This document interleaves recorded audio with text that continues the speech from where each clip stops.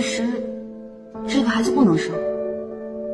一开始朕也这么觉得。既然你也这么觉得，那咱们就趁现在还来得及，赶紧把这个孩子拿掉吧！啊！心里竟然很欢喜。可是，这个孩子我生不了。这又是为何？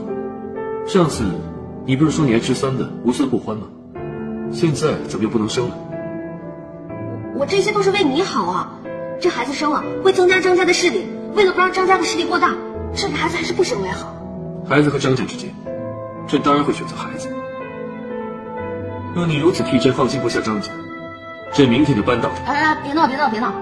既然你不担心张家，你就不害怕？哎，我这个性子把你的孩子带坏了？让你担心的是这个，那大可不必。到时候这么说，你是不想和朕共同生养一个孩子？这不是和谁生的问题，而是让我生孩子，我根本就没有那个功能，接受不了。你可知道，你这话是大逆不道，生儿育女是你的责任，怎么能由你的意愿左右？一定要生吗？啊！你要是敢对这个孩子做什么，朕是不会放过你的。